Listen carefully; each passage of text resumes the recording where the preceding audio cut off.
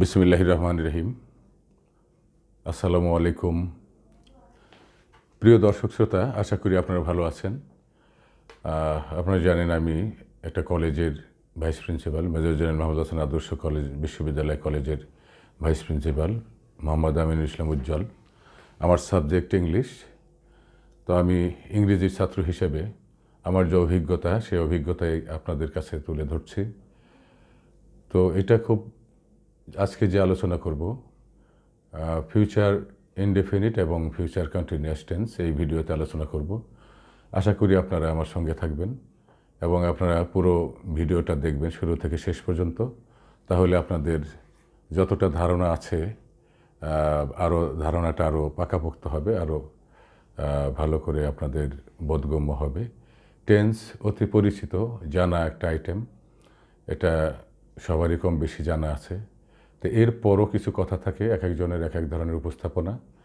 তো কিছু জিনিসের ভুল বোঝাবুঝি থাকে, সেটা সংশোধনের চেষ্টা আমি করব। আশা করি আপনারা বেনিফিটেড হবেন। তো আমি শুরু করছি। Future indefinite tense future indefinite tense এর এর মধ্যে টেন্সের মধ্যে আবার টেন্স আমি যেটা বলে থাকি যে ইনডেফিনিট টেন্সগুলোর মধ্যে সাধারণত উপো টেন্স থাকে। অর্থাৎ প্রেজেন্ট ইনডেফিনিট টেন্স বললে একটা টেন্সকে বোঝায়, অথচ তার মধ্যে আরও কয়েকটা টেন্স থাকে। তা আমি আপনাদেরকে সেটা পরিষ্কার করে বলবার চেষ্টা করব। যেমন ফিউচার ইনডেফিনিট টেন্স এটা করা অর্থে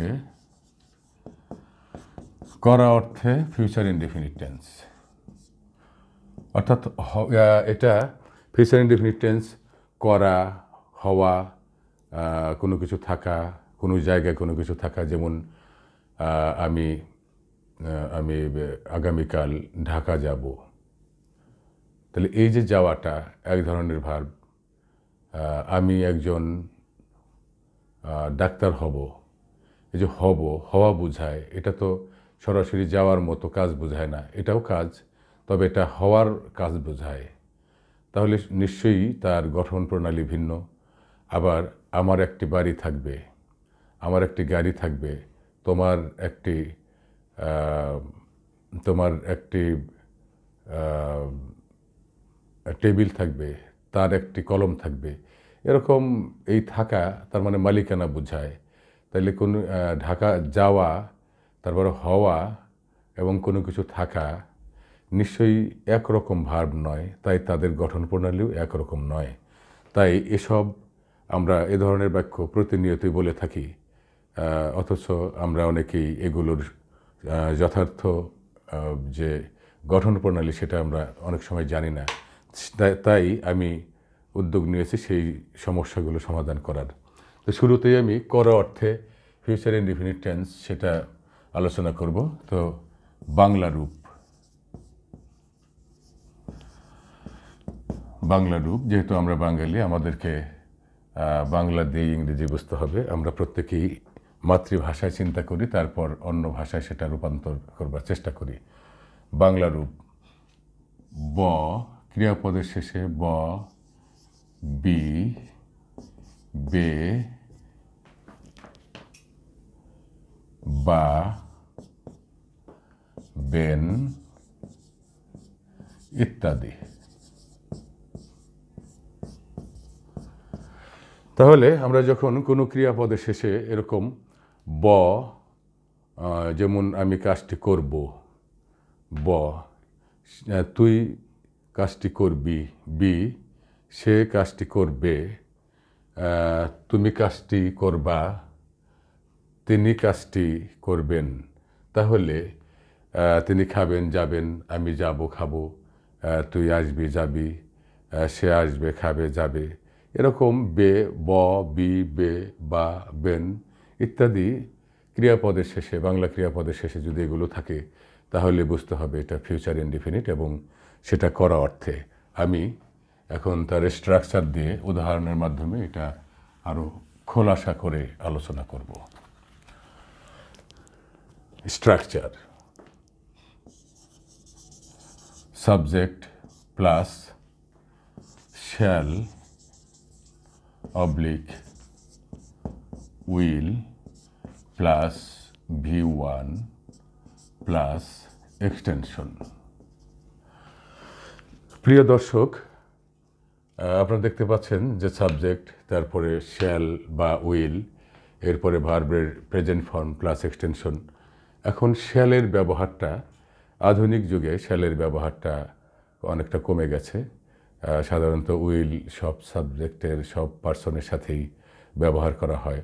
তো এরপরও যেহেতু পুরোপুরি বন্ধ হয় নাই শ্যালের ব্যবহার, তাই সেটা আমি এখানে লিখলাম শ্যাল ফার্স্ট পার্সনের সাথে ব্যবহৃত হয়। সাধারণত ফার্স্ট পার্সনের সাথে সাথে এই শ্যাল ব্যবহৃত হয়। আর উইল বাকি সেকেন্ড পার্সন এবং থার্ড পার্সন এদের সাথে উইল ব্যবহৃত হয়। I shall we shall R you will they will he will she will Karim will Rahim will Ruby will friends will Bulbuli will এরকম ব্যবহৃত হয়। তবে যেহেতু উইলের ব্যবহারটা এখন বেশি প্রচলিত, তাই উইলের ব্যবহার এখন সব পার্সনের সাথে করলেও সমস্যা নেই। তাহলে আমরা দু একটা উদাহরণই করি, যে সে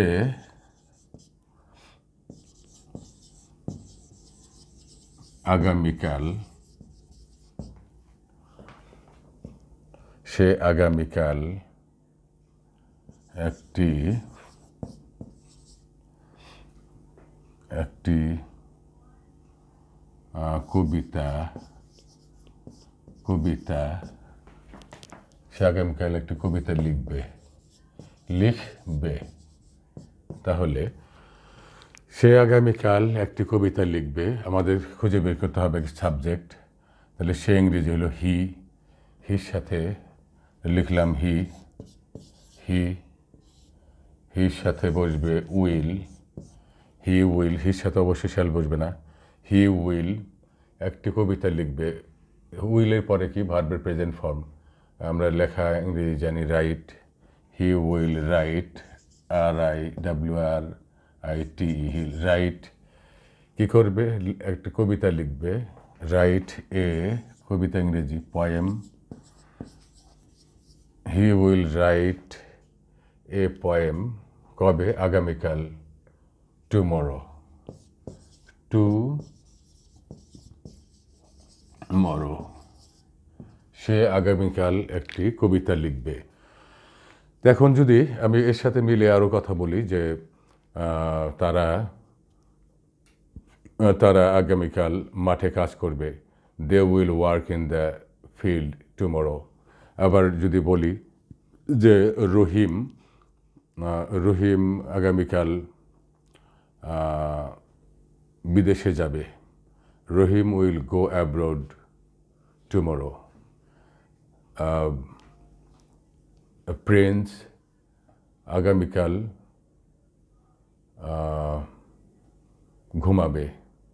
Prince will sleep Prince will sleep tomorrow তো এভাবে আমরা অসংখ্য বাক্য তৈরি করতে পারি। এর সাথে মিলিয়ে আমরা অসংখ্য বাক্য বানাতে পারি। একই ফর্মুলায়। আমরা শুধু ইংরেজির ক্ষেত্রে না বাংলার ক্ষেত্রেও আমরা একই ফর্মুলা ব্যবহার করে থাকি। শুধু সাব, সাবজেক্ট পরিবর্তন করি, আর অনেক কিছুই একই থাকে। ইংরেজিতেও ঠিক একই রকম। তো আরেকটাই করি যে, তোমরা গরিবদেরকে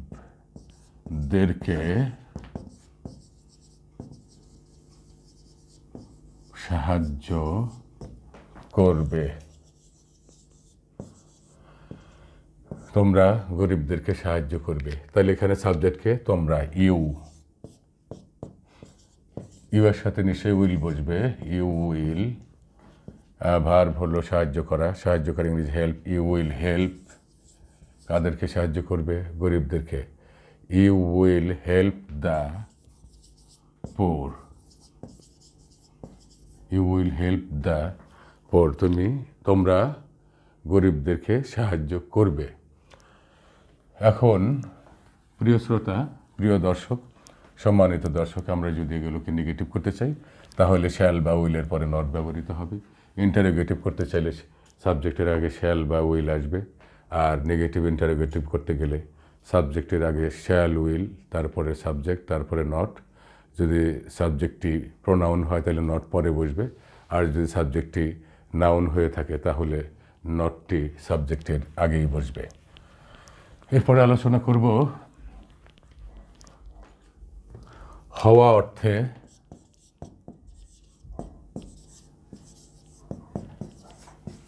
হওয়া অর্থে ফিউচার ইনডিফিনিট টেন্স হওয়া অর্থে। এখানে বাংলা রূপ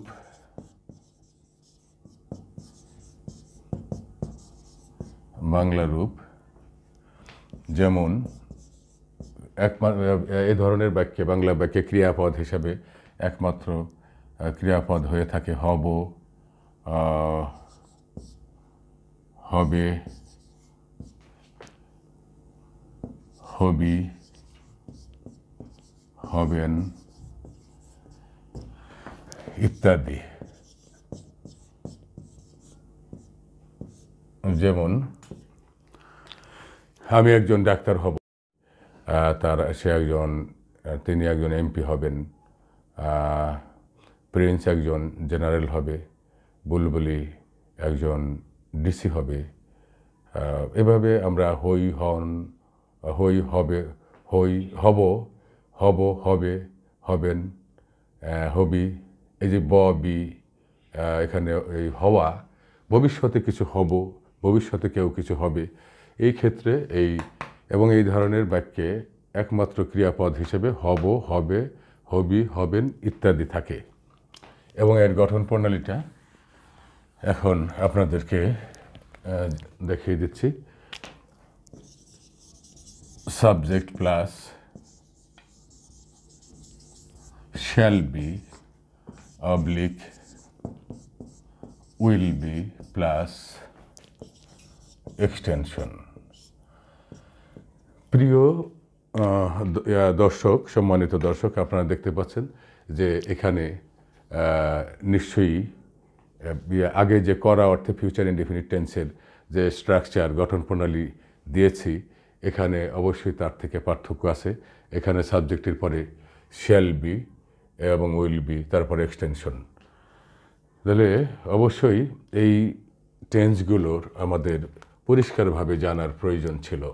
যে আমাদের খালি ফিউচার ইনডিফিনিট একটা টেন্স নিয়ে ফিউচার ইনডিফিনিট নয়, যেমন নয় প্রেজেন্ট ডিফিনিট আর যেমন নয় পাস্ট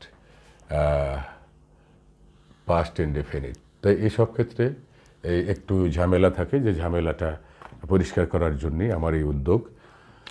তাহলে শ্যাল বি উইল বি যথারীতি শ্যাল যার সাথে বসে শ্যাল বি তার সাথেই বসবে। উইল বি উইল যার সাথে বসে উইল বিও তার সাথে বসবে।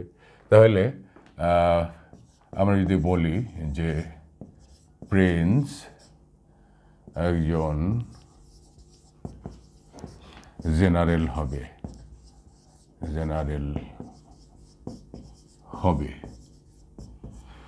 তাহলে এখানে সাবজেক্ট হলো Prince third person singular number Prince প্রিন্সের সাথে উইল বি হবে Prince will be a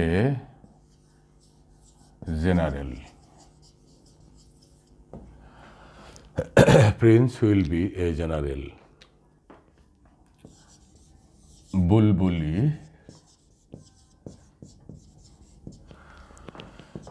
একজন ডিসি হবে তাহলে সাবজেক্ট হলো বুলবুলি বুল, বু, লি, উইল, বি, এ ডিসি প্রিয় দর্শক শ্রোতা, এভাবে আমরা এই ধরনের যে হবি হব, হবেন এই ধরনের যদি কোনো বাংলা বাক্যে এই ক্রিয়াপদ হিসেবে, একমাত্র ক্রিয়াপদ হিসেবে আমরা দেখি, তাহলে নিশ্চয়ই এইভাবেই আমরা বাক্যগুলো করব। যেমন সে একজন ভালো মানুষ হবে। He will be a good man Jagai একজন চোর হবে। Jagai will be a thief তা আসলে এই ধরনের তো প্রার্থনা করা উচিত নয়। এটা বাক্য বানানোর স্বার্থে উদাহরণ দেওয়ার স্বার্থে বলছি। সে আমাদের এমপি হবে। He will be our MP সে তুমি আমার বন্ধু হবে you will be my friend তো যাই হোক, আমরা যদি এগুলো নেগেটিভ করতে চাই, তাহলে শ্যাল উইল শ্যাল উইলের পরে নট ব্যবহৃত হবে। আমি অসৎ হব না। I shall not be dishonest I shall not be dishonest এখানে বির পরে নট নয় শ্যাল বা উইলের পরে নট বুঝবে। আর ইন্টারোগেটিভ করতে গেলে আমাদেরকে ই করতে হবে শ্যাল বা উইল এটা সাবজেক্টের আগে বসবে, তারপরে সাবজেক্টের পরে বি বসবে। যেমন তুমি কি আমার বন্ধু হবে? Will you be my friend will you be my friend সে কি তোমার শত্রু হবে? Will he be your enemy তাহলে এই বিটা এখানে মূল ভার্ব এখানে বিটাই মূল ভার্ব হিসেবে কাজ করছে শ্যাল উইল হেল্পিং ভার্ব হিসেবে কাজ করছে। তাই ইন্টারোগেটিভ করতে চাইলে শ্যাল বা উইল সাবজেক্টের আগে বসবে, তারপরে সাবজেক্ট তারপরে বি এরপরে বাকি অংশ এবং প্রশ্নবোধক চিহ্ন। এবং নটের ব্যাপারটা এরকমই যে সাব শ্যাল উইলের পরে সাবজেক্ট তারপর নট তারপরে বি তারপরে এক্সটেনশন এবং প্রশ্নবোধক চিহ্ন। আর যথারীতি সাবজেক্ট যদি প্রোনাউন হয়, তাহলে নট সাবজেক্টের পরে বসবে। আর যদি সাবজেক্টটি নাউন হয়, তাহলে নটটা সাবজেক্টের পূর্বেই বসবে। এরপরে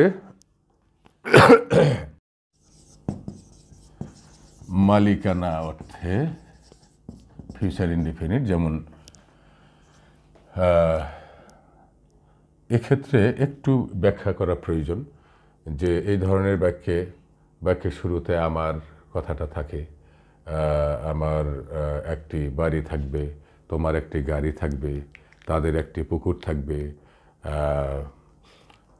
প্রিন্সের একটি অট্টালিকা থাকবে বুলবুলির একটি প্রাসাদ থাকবে, এরকম এর কথাটা বাক্য শুরুতে যে এর দিয়ে শুরু হয় এবং বাড়ি থাকবে, গাড়ি থাকবে, তাহলে আমরা এরকমই করতে পারি যে বিশেষ্য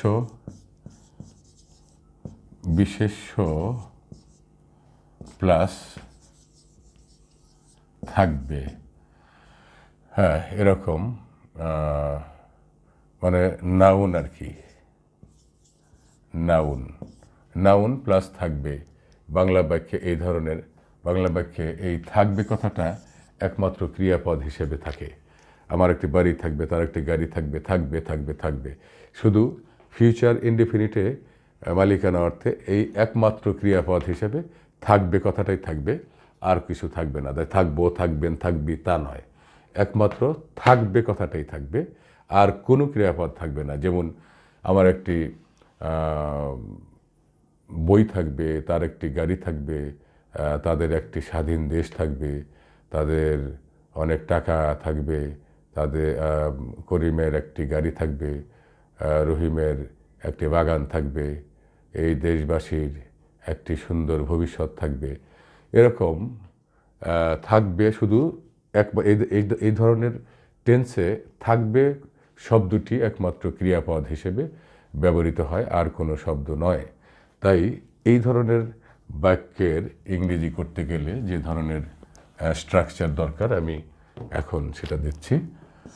সাবজেক্ট প্লাস যথারীতি শ্যাল তারপরে হ্যাভ তারপরে উইল হ্যাভ প্লাস এক্সটেনশন এটা কঠিন কিছু না, প্রিয় প্রিয় দর্শক শ্রোতা, আপনারা একটু খেয়াল করলেই এর এই এই ধর অসংখ্য বাক্য বানাতে পারবেন নির্ভুলভাবে। এই আমার এই বিষয়টা যদি আপনারা খেয়াল করেন। যেমন সাবজেক্ট পরে শ্যাল হ্যাভ বা উইল হ্যাভ এটা হবে। থার্ড পার্সন সিঙ্গুলার নাম্বার হলেও এখানে হ্যাজ বসবে না বা এস বাই এস বসবে না। সেই ঝামেলা, এই অন্তত এই টেন্সে নেই। যেমন আমার একটি, আমার একটি বাড়ি থাকবে। আমার একটি বাড়ি থাকবে। তাহলে আই শ্যাল হ্যাভ এ তো গঠন প্রণালী অনুযায়ী লিখতে হবে। আই শ্যাল হ্যাভ কি থাকবে? একটি বাড়ি এ হাউস একদম সোজা। এগুলো যদি এভাবে এভাবে আমরা অসংখ্য বাক্য বানাতে পারি। যেমন, তার একটি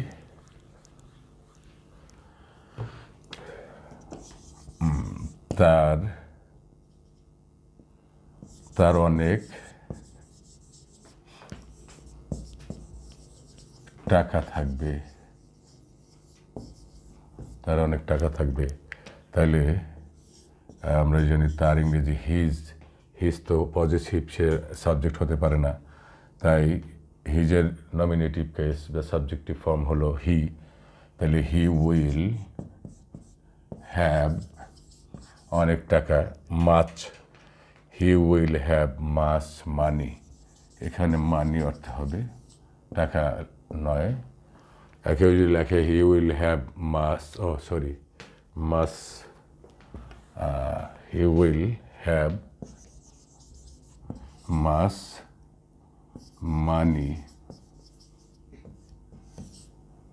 he will have much money কেউ যদি বলে যে হি উইল হ্যাভ মাস টাকা, তাও হবে, তবে সেটা শুনতে খারাপ লাগে।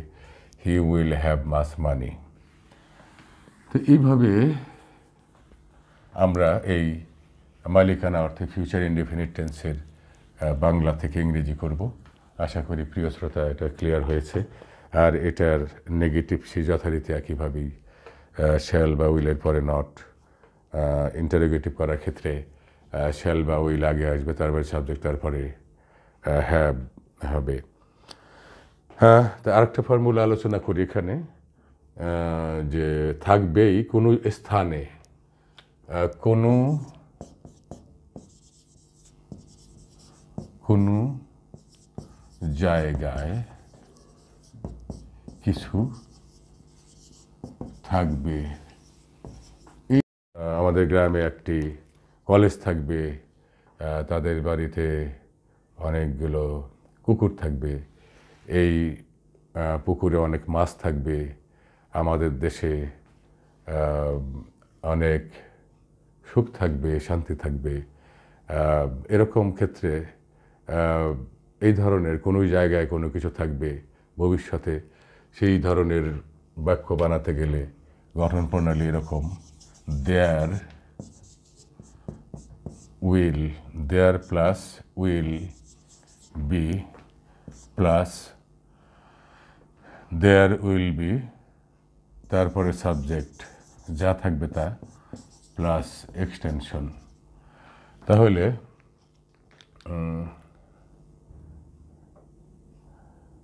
টাঙ্গাইলে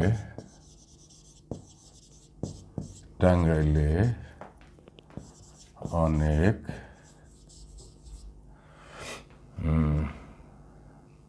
অনেক শিক্ষা প্রতিষ্ঠান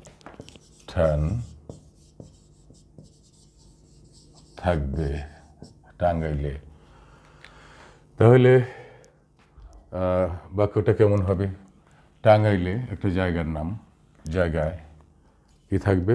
তাহলে গঠন প্রণালী অনুযায়ী দেয়ার উইল বি অনেক শিক্ষা প্রতিষ্ঠান there will be many many many educational institutions, many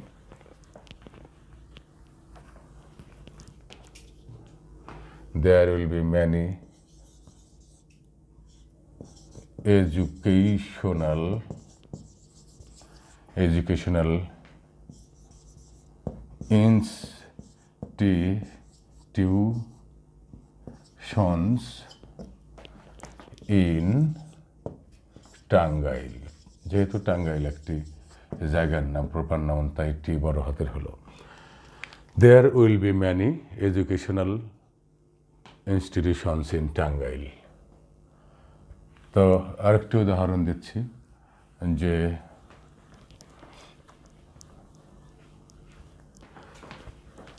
এই পুকুরে প্রচুর মাছ থাকবে। প্রিয় দর্শক, আপনারা দেখতে পাচ্ছেন প্রত্যেকটা বাক্যের শুরুতেই জায়গার নাম উল্লেখ থাকছে। জায়গা সংক্রান্ত শব্দ। এই পুকুরে এই পুকুরে প্রচুর মাছ থাকবে। তাহলে there will be will be প্রচুর এ লট অব অথবা মাছ বলা যেতে পারে মাছ, fish there will be a lot of অথবা মাছ, fish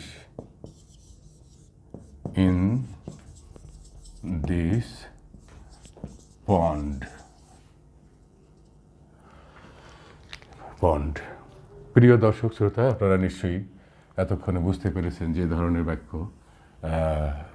আমরা এই ধরনের বাংলা বাক্য, এই স্ট্রাকচার বা গঠন প্রণালী অনুযায়ী করতে পারি। এগুলো আপনারা নিজেরা চেষ্টা করবেন। এই ধরনের বাক্য, বাংলা বাক্য খেয়াল করে যদি এই ফর্মুলায় করেন, তাহলে আপনাদের অনেক সুবিধা হবে। তারপরে আমি এখানে, এগুলোকে নেগেটিভ করার ক্ষেত্রে there will not be will not will not মানে মানে উইলের পরে নট বসবে। নেগেটিভ করা। যেমন আমাদের দেশে কোনো কোনো দুঃখ থাকবে না। There will not be any sorrow in our country আমাদের দেশে কোনো দারিদ্র থাকবে না। There will not be any poverty আমাদের দেশে কোনো গরিব থাকবে না। There will not be any poor in our country এরকম নট দিয়ে নেগেটিভ আমরা এগুলো করতে পারি। তো এখন আলোচনা করব future continuous tense future continuous tense Bangla রূপ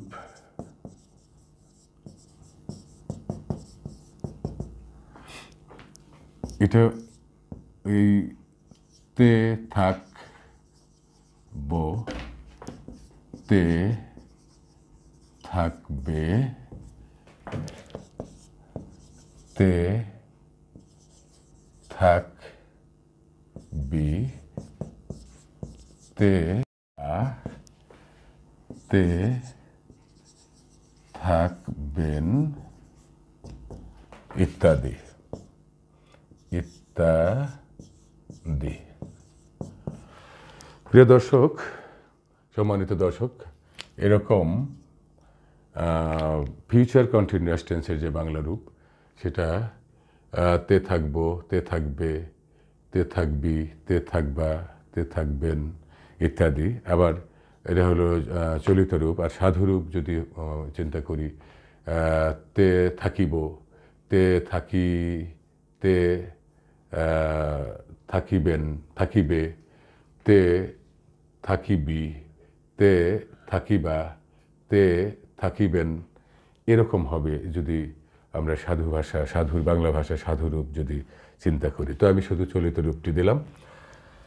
আমরা এখন এর গঠন প্রণালীর মাধ্যমে দু এক- দু একটি উদাহরণ চিন্তা করব।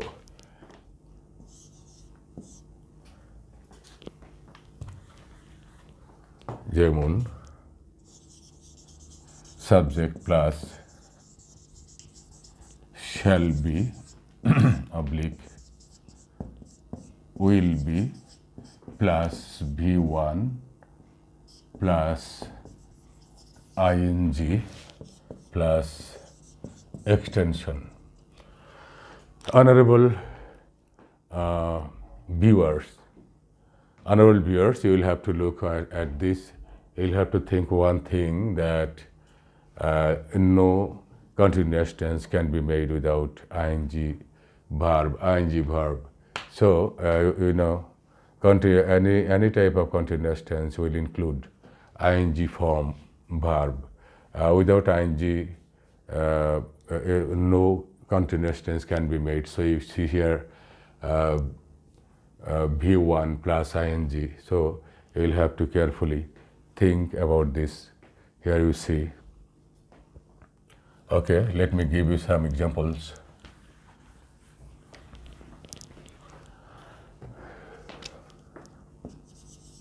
তারা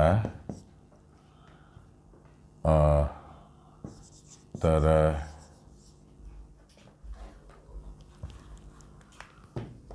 তারা আগামীকাল নদীতে নদীতে মাছ ধরতে থাকবে। তাহলে তার ইংরেজিতে they will be, they will be catch মানে ধরা C F T C H they will be catching fish, মাছ ধরতে থাকবে কোথায়? In the river in the river they will be catching fish in the river ও আগামীকাল river tomorrow tomorrow তাহলে they will be catching fish catching catching fish in the river tomorrow তাহলে আমরা এর সাথে মিলিয়ে যদি আরও কিছু বাক্য বলি, যেমন সে একটি ছবি আঁকতে, আগামীকাল সে একটি ছবি আঁকতে থাকবে he will be drawing a picture সে একটি বই পড়তে থাকবে he will be reading a book সে আগামীকাল ঘুমাতে থাকবে he will be sleeping tomorrow তারা একটি পরিকল্পনা করতে থাকবে। They will be making a plan তারা একটি কাজ করতে থাকবে। They will be doing a work তারা, সে সে ইংরেজি বই পড়তে থাকবে। He will be reading a he will be reading an English book তো এরকম নানানভাবে আমরা এই ধরনের বাক্য একই ফর্মুলায় বানাতে পারি। এটা খেয়াল করার ব্যাপার। আমরা যদি একটু খেয়াল করি, তাহলে টেন্সকে আর কঠিন মনে হবে না। প্রিয় দর্শক শ্রোতা আর একটু উদাহরণ আমি দেব, যে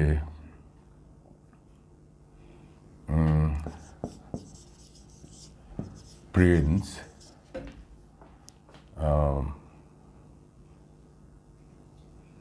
প্রিন্স ভালোভাবে পড়তে থাকবে। প্রিন্স ভালোভাবে পড়তে থাকবে। তাহলে সাবজেক্টকে প্রিন্স তাহলে Prince will be reading read মানে পড়া।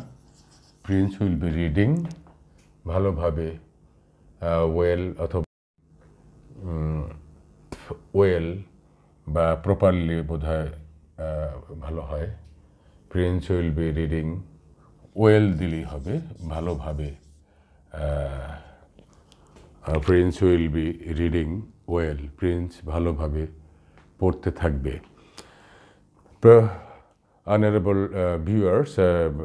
lo- uh, so long. I have uh, uh, I had been uh, talking on uh, tenses, present future indefinite and future continuous tenses, and uh, perhaps you were uh, very much aware of my discussion and if you want to learn clearly about the tenses, you will have to uh, follow, you will have to view or you will have to see or enjoy uh, all of my uh, uh, videos.